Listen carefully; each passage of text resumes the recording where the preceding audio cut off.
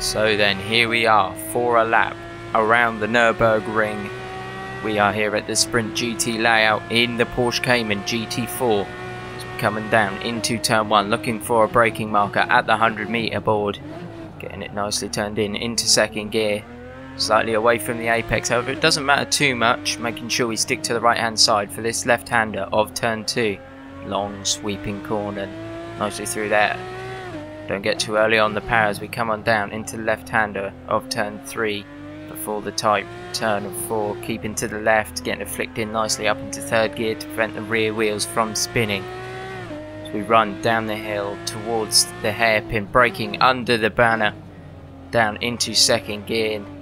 Some drivers may look to hug to the inside and some may look for a late apex. A little out of shake on the exit, proving that you can't get too early on the power.